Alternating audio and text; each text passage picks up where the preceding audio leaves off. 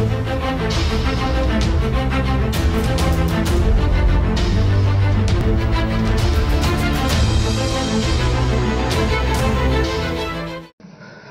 ప్రాంతం గురించి చాలా డీటెయిల్డ్గా అందరూ కూడా చెప్పాల్సినవన్నీ చెప్పారు అధ్యక్ష.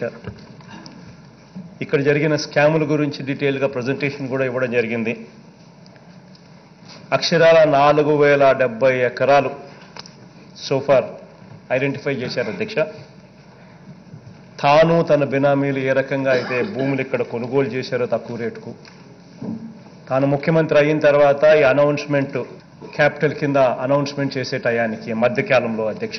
ఏ రకంగా చేశారో తక్కువ రేటుకి ఏ రకంగా కొనుగోలు చేశారో ఆ తర్వాత ఆ రేట్లు పెంచుకునే కార్యక్రమంలో భాగంగా ఏమేం చేశారు అన్నది ఇంతకుముందు చాలా డీటెయిల్గా ప్రజెంటేషన్ కూడా ఫైనాన్స్ మినిస్టర్ గారు ఇవ్వడం జరిగింది. అధ్యక్ష రాజధాని ప్రాంతం అన్నది అవుట్ ఆఫ్ నోవేర్ ఒక ప్రాంతాన్ని తాను సెలెక్ట్ చేశాడు. చుట్టూ తన బినామీలతో భూములు కొనిచ్చాడు. తాను తన బినామీలు కొనుక్కున్నారు తర్వాత ఇక్కడ రాజధాని అని అనౌన్స్ చేశారు.